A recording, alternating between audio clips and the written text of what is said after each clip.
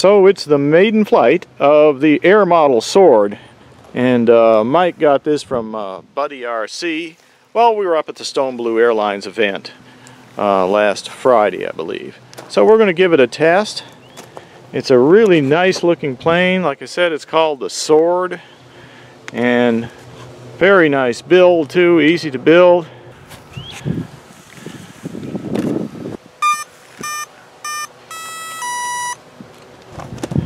Nice little pocket to put the battery in. Probably could fit two batteries in that hole. And of course, the Orange RX receiver. Why not?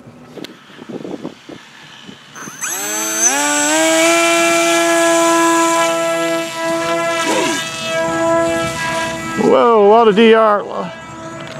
Okay, so we added a little reflex to the elevons a little more DR and some Expo. We're gonna find out.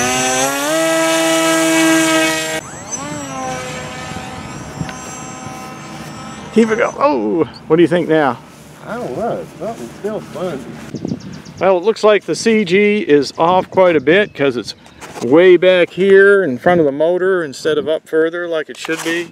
So we're thinking about just sticking another battery in there and give it some more weight in the nose. Of course, if we get FPV gear on here, that might compensate for it. Okay, here we are again. This time with an extra battery for weight. I think you're actually uh, got both batteries are the same. They're 850s. 853 cells, but they're not both hooked up. Just one's for weight. All right, it's calm right now. Oh yeah. It's a little touchy, but it's flying.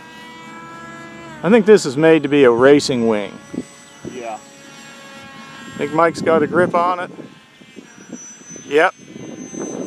It probably could still use more weight in the nose, but it's doing a lot better.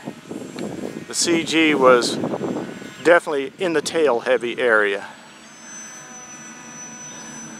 We don't want it going in a tree, but I think we're we got it dialed in better for a windy day.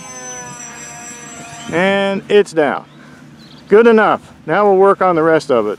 Compartment. Okay, removing the ESC from the battery compartment, that's what you're thinking? Mm -hmm. And put And it, Put it right up here between the fins. yeah, we'll have to look up online, see where the CG is. For sure, maybe somebody knows. It's such a new wing that uh, we don't know that much about it. but- Yeah, I, I couldn't find any information on YouTube. Apparently, uh, it's such a new plane that just nobody's really tested it yet. It's very light and durable. We gave it the test. Couple of crashes, no damage. Nice EPP. Seems very good. So yeah, moving the ESC here and bigger battery in the front. And of course later FPV. Gotta have that. That's right. That's right. Okay, we're back with the Air Model Sword, Part 2. And the changes that have been made to it now, Mike has changed the CG quite a bit. Even added a couple lead weights to the front here and a bigger battery. Looks like about a 1350. Or These weights could be removed when FPV is added. But we're going to try it like that and see if the CG is better.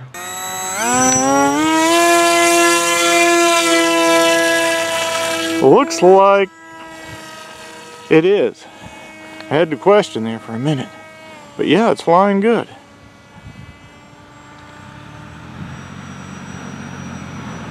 Okay. Looks like it's doing much better. Pretty stable. Oh, all right. So how to do? Yeah, much better. It's still a little bit floaty, but uh, uh, all in all, much better flight than last time. So there is the sword compared to the mini pop wing right there.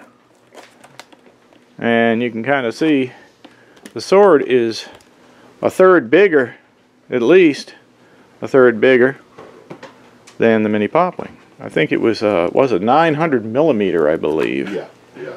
That's what it what it is. So anyway, let's put on the CG stand. So after putting it on the CG stand here, what we have right now, I put a couple of green dots where this stand was located when it was balanced. It's about 195 millimeters back from the tip of the nose right here. I think that was uh, 7 and 5 eighths inches. So I'm on a website here called FWCG, that's Flying Wing CG 3dzone.dk and they've got a pretty cool calculator here.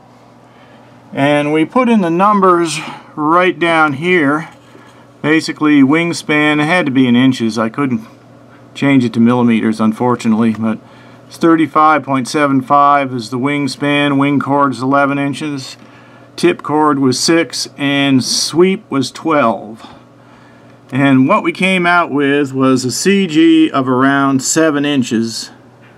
And I think that's just uh, about 180 millimeters. Okay, we added uh, four washers to the front right here, and that just that just moved the CG forward just a smidge, like maybe uh, half an inch, I would say, something like that. We're just going to see what that does. Okay, going for another test with some washers on the front to move that CG forward just a little. I think we figured out needs to be more like 180 millimeters from our calculator, our flying wing calculator on the internet. Okay, I hear a mower, but at least it's not on our fairway. Don't see anybody. No. I think we're good. Uh, all right.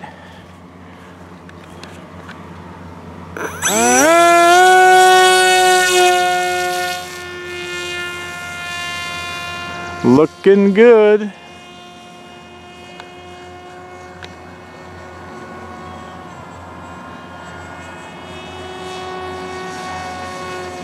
Wow, that thing's fast.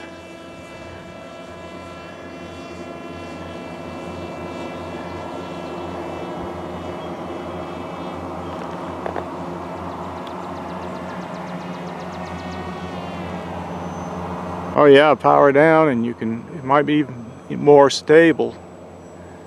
Oh yeah, that's flying nice now. It really is. I think around 180 millimeters is the ideal location.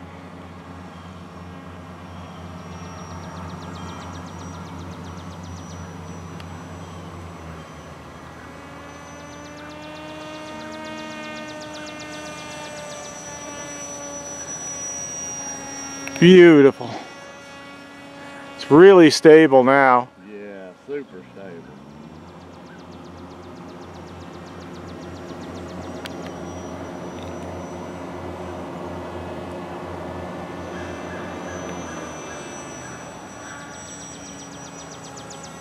Oh yeah.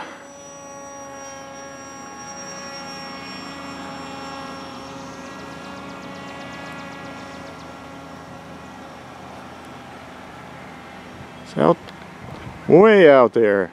It's big enough where you can see it pretty good. Yeah.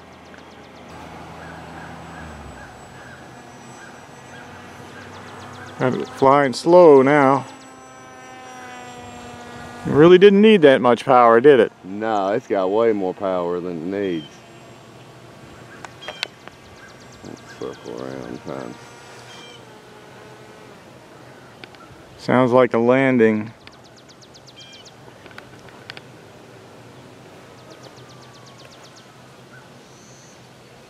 Nice. You about need a football field to land it in. It glides very well. Yeah. And once it's trimmed out and the CG is right, really glides. It really does. Handles the wind well too.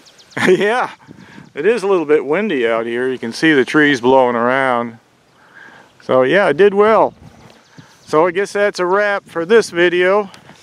We might have a part three when we put FPV on it and Oh, see yeah. if Mike can can do FPV. But uh, we've got some gear on order, or at least it's in the budget Yep. to put on the plane and see how it does. Probably go with 5.8. All right, that's it. Uh, that's it for now. We'll uh, catch you later. Here, play.